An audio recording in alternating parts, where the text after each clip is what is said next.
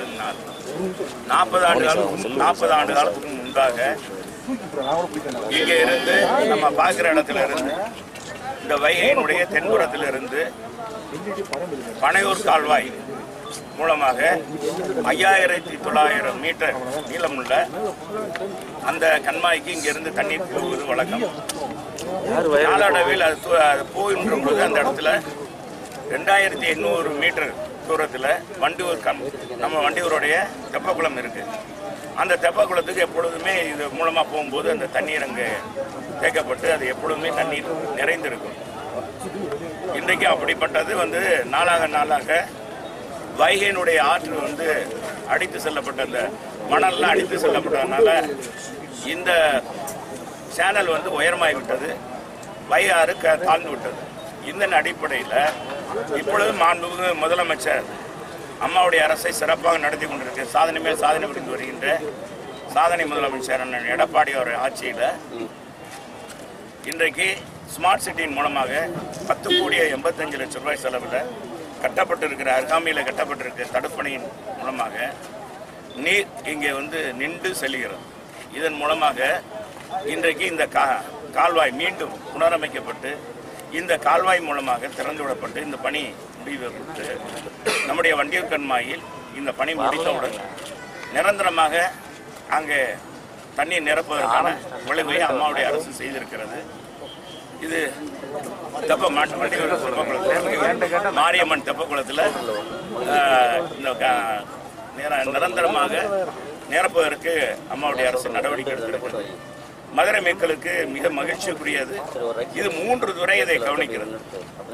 நம்முடைய பிடபிள்யூடி பொதுப்பணித்துறை நம்முடைய மாநகராட்சி நிர்வாகம் அருள்மிகு மீனாட்சி சுந்தரேஸ்வரர் திருக்கோயிலில் இருக்கிற ஆணையார் இவருடைய திருப்பார்வை இந்த பணிகள் நடைபெற இருக்கிறது இது வரலாற்று சிறப்புமிக்க ஒரு நிகழ்வாக நாற்பது ஆண்டுகளுக்கு பிறகு மதுரை மக்களுக்கு மகிழ்ச்சி ஊட்டக்கூடிய ஒரு செய்தியாக இது அமைந்திருக்கிறது.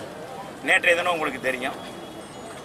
இந்தியாவிலே பிரசித்தி பெற்ற திருக்கோயில் ஒன்றான உலக பிரசித்தி பெற்ற அருள்மிகு மீனாட்சி சுந்தரேஸ்வரர் திருக்கோயிலில் பக்தர்களுக்கு வருகின்ற பக்தர்களுக்கு ரட்டு வழங்குகின்ற அந்த அருமையான நிகழ்வை மாண்பு முதலமைச்சர் தொடங்கி வைத்தார். இதன் மூலமாக மதுரைக்கு பல்வேறு திட்டங்களை இன்றைக்கு அம்மாவுடைய அரசு காலத்தில் வளர்ச்சி பணிகள் மிக சிறப்பாக நடந்து கொண்டிருக்கு.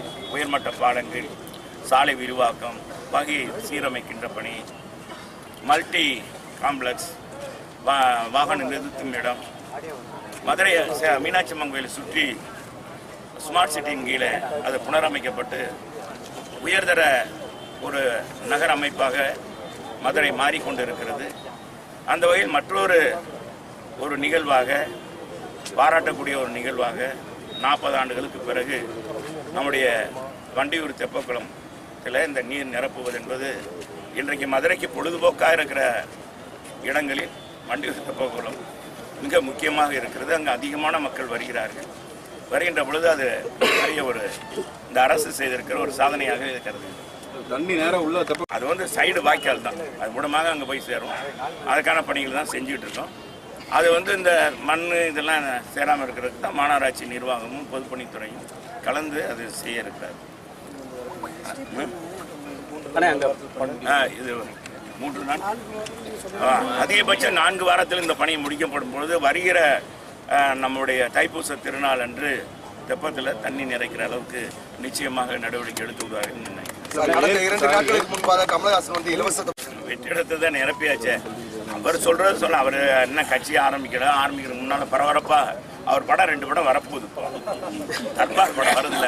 அதுக்காக முன்னால் எப்போவுமே அவர் ஸ்டா- சூப்பர் ஸ்டார் எப்போவுமே ஒரு இந்த மாதிரி ஒரு பரபரப்பான செய்தியை சொல்வது வழக்கமான ஒன்று எனவே இங்கே வெற்றிடமும் இல்லை ஒன்றும் கிடையாது. இங்கே மாண்பு முதலமைச்சர் அந்த இடத்தை நிரப்பியிருக்கிறார். துணை முதலமைச்சர் அவர் துணையாக இருந்து இன்றைக்கு தமிழக அரசு தமிழக அரசை வழிநடத்தக்கூடிய ஒரு சிறந்த ஆட்சியை கொடுக்கக்கூடிய அரசாக ஏழை எளிய மக்கள் பாட்டாளி மக்கள் சட்ட ஒழுங்கை பேணி காக்கக்கூடிய ஒரு அரசாக மதசார்பற்ற அரசாக அம்மாவுடைய அரசு திகழ்கிறது என்பதற்கு அச்சாட்சி தான் நடந்து முடிந்த இரண்டு இடைத்தேர்தல்.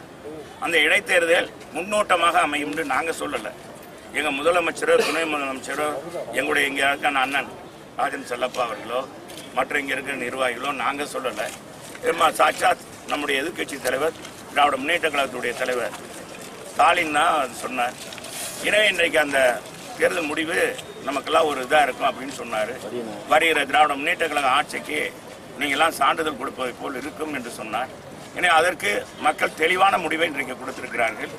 மிக அதிகமான வாக்கு வித்தியாசத்திலே அண்ணா திராவிட முன்னேற்ற கழகத்தை நிரப்பி இனி தமிழகத்திலே அம்மாவுடைய எண்ணப்படி அம்மாவுடைய அந்த இறுதி சூழ சூழ்நிலையின்படி இன்னும் நூறு ஆண்டுகளுக்கு அண்ணா திராவிட முன்னேற்ற கழகம் தான் ஆளும் என்பதை வலுவாக இன்றைக்கு மக்கள் தீர்ப்பளித்திருக்கிறார்கள். இங்கே உங்களுக்கு தெரியும் நாங்குநேரியை பொறுத்தளவுக்கு எங்களுக்கு தோழமை பலம் இங்கே தோழமை பலமே இல்லாத சூழ்நிலையில் எனவே அங்கே அதிகப்படியான மக்கள் அதுவும் இஸ்லாமியர்கள் கிறிஸ்தவர்கள் அதிகமாக நிறைந்திருக்கிற அந்த தொகுதியில் இன்னைக்கு இஸ்லாமியர்களும் கிறிஸ்தவர்களும் இந்த அரசை தூக்கி நிறுத்தியிருக்கிறார்கள் எனவே இங்கே வெற்றிடம் என்பது காலி இல்லை அது அவருக்கு வேணுமானால் வெற்றிடமாக திறலாம் பார்க்குற பார்வையை பொறுத்து இருக்கிறது என்பதை தெரிவித்துக் கொள்கிறேன்